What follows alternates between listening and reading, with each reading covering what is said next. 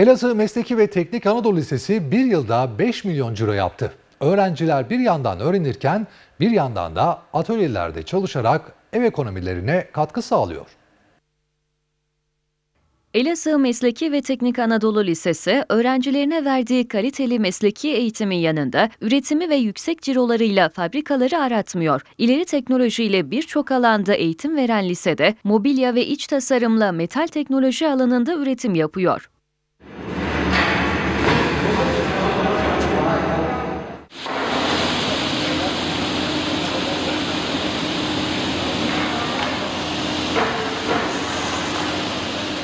Teorik eğitimlerini bu atölyelerde pratiğe dönüştüren öğrenciler, Elazığ başta olmak üzere çevre illere de hizmet veriyor. Başta okullar ve devlet kurumları olmak üzere birçok işletmeye malzeme üreten lise, 2023 yılında 5 milyon ciroya ulaştı. Öğrenciler bir yandan eğitim alıp el becerilerini geliştirirken, bir yandan da döner sermayeden aldıkları ücretle kendi ve aile ekonomilerine katkı sağlıyor.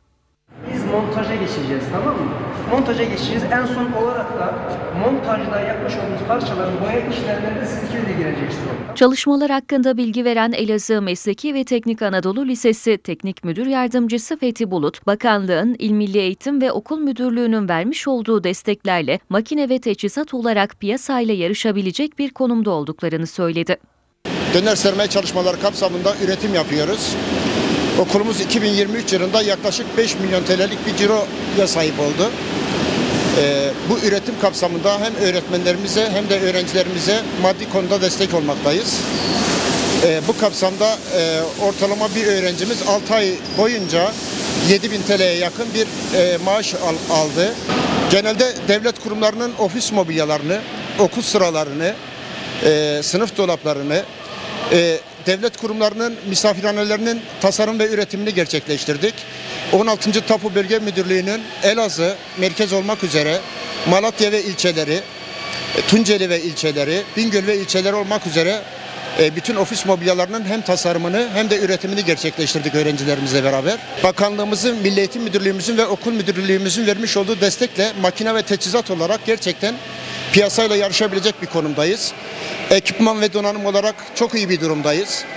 Öğrencilerimiz bu çalışmalar kapsamında hem el becerilerini hem meslek tecrübelerini geliştirmekte ve e, okulumuzdan mezun olduktan sonra piyasada rahat çalışabilecek şekilde e, yetiştirilmek. Öğrencilerden Adnan Yaşar Yıldırım ve Fırat Biçer, döner sermaye çerçevesinde okullara ve kurumlara mobilya yaptıklarını ifade ettiler.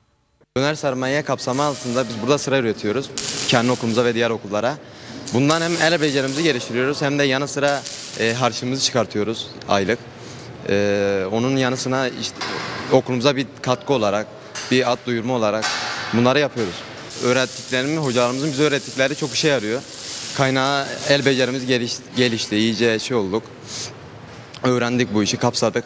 Yani okulu bittikten sonra Burada okullara, e, kuruluşlara burada mobilya ve e, ofis şey mobilyaları yapıyoruz arkadaşlarımızla birlikte.